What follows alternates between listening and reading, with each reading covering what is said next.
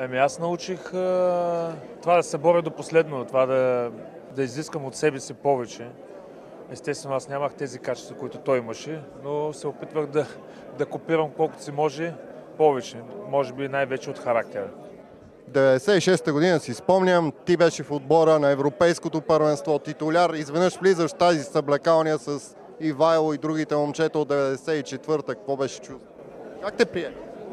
Ами аз много бързо навлязах в, в този отбор, още повече, че този отбор беше а, спечелил четвърто място на световно.